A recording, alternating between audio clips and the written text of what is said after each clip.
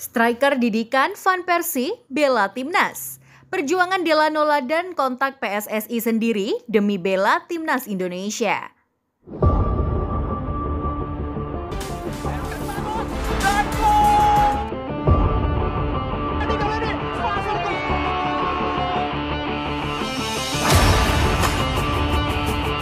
Indonesia versus South Korea.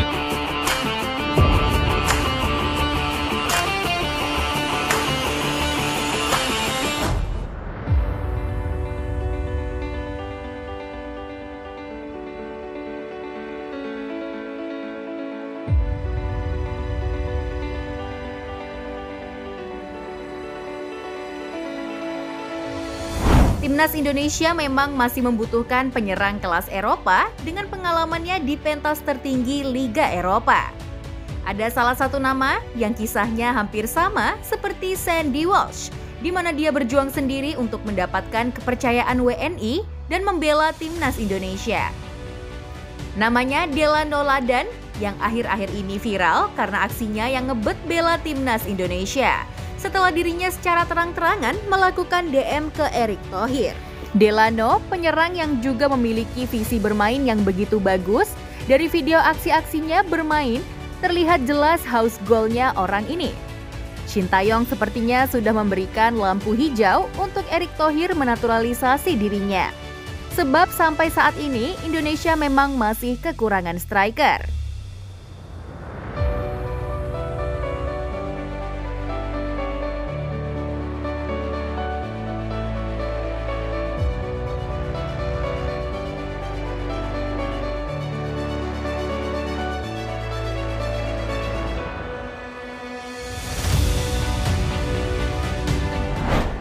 Pernah dilatih oleh Van Persie. Van Persie sejak 2020 memang mengabdi pada Feyenoord yang juga klub profesional pertamanya sebagai tenaga kepelatihan. Saat Ladan datang, ex-striker Arsenal dan Manchester United itu dikontrak sebagai pelatih khusus posisi penyerang sehingga dipastikan keduanya sempat bekerja sama.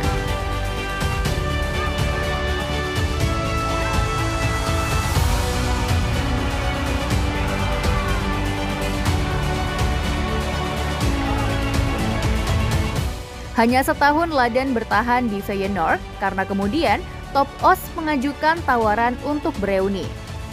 Pada musim 2022 lalu, sang pemain pun resmi kembali merumput di liga profesional.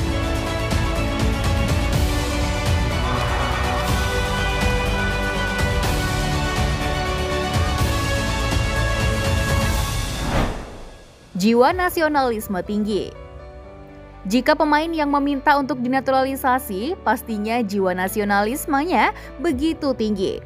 Sebab kemungkinan besar akan ada kebanggaan tersendiri bagi sang pemain bisa membela Panji Garuda.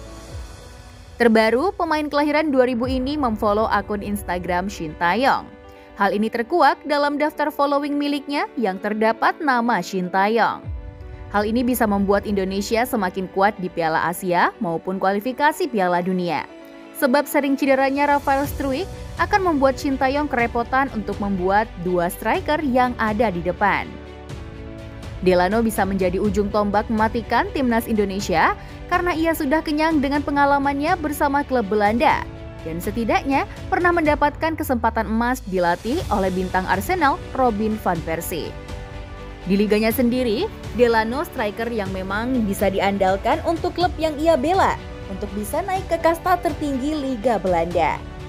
Saya ingin mencoba bermain untuk timnas Indonesia karena itu adalah suatu kebanggaan sendiri bagi saya.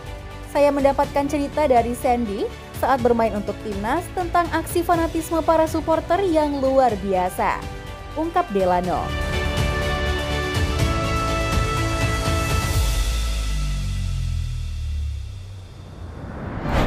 Media Arab sebut Indonesia digempur pemain keturunan. Setelah dukungan pasti Indonesia ke Arab Saudi untuk menjadi tuan rumah Indonesia, kali ini banyak sekali media Arab yang mulai mengikuti sepak terjang anak asuh Shin Taeyong ini.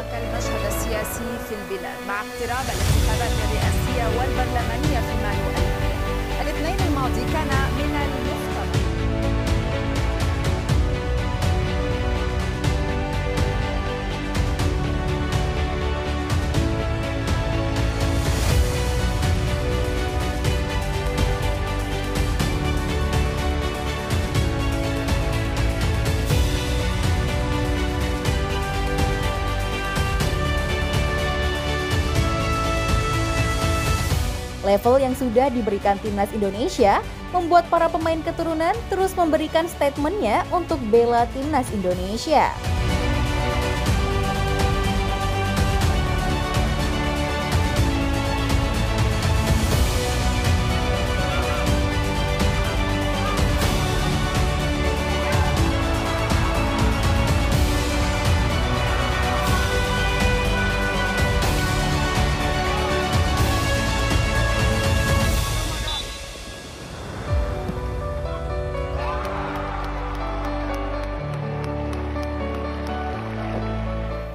Mereka juga punya hak untuk bela timnas Indonesia karena masih mempunyai darah Indonesia.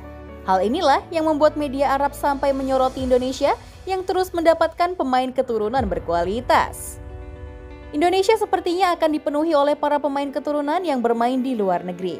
Ini menunjukkan bahwa jika nasionalisme para keturunan memang sangat tinggi, ungkap salah satu media Arab.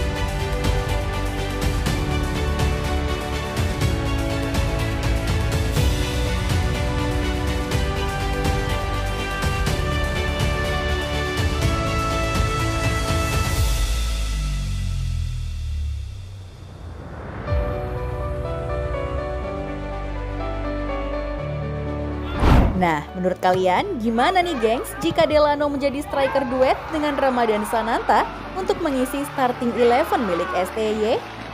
Yuk berikan pendapat kalian di kolom komentar.